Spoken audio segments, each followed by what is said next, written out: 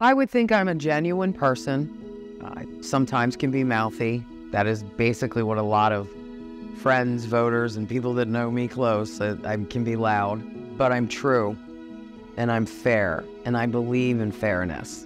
I was born in Salem County, been here all my life. I always said, I'm not related to anybody in the state of New Jersey. It's me, my mom and dad, and my brother. My mom and my dad both are from Philadelphia. Mom was a tax collector.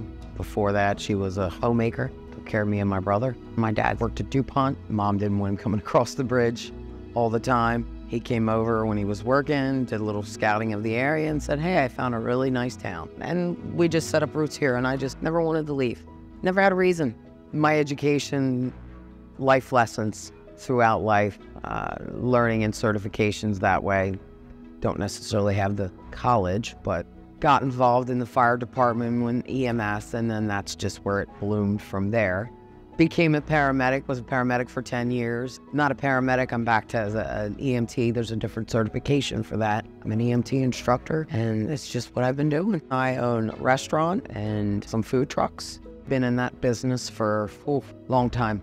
It's Americanish food, breakfast, lunch, dinner, do a lot of catering as well. I've been voting since I was 18 years old. And of course, you follow the path of your parents. I was not always a Republican. My grandparents originally were Democrat.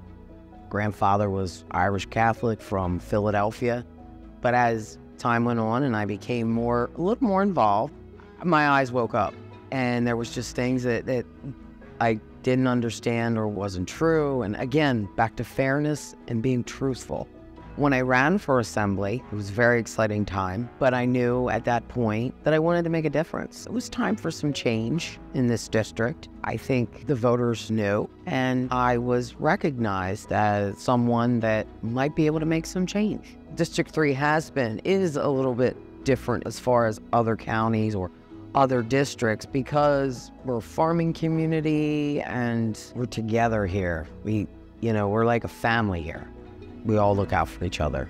More could be done. We could have more help from Trenton as far as economics, business building. They're not listening to their constituents. And I at least want to be a voice somehow in Trenton. The career politicians, can't have that anymore.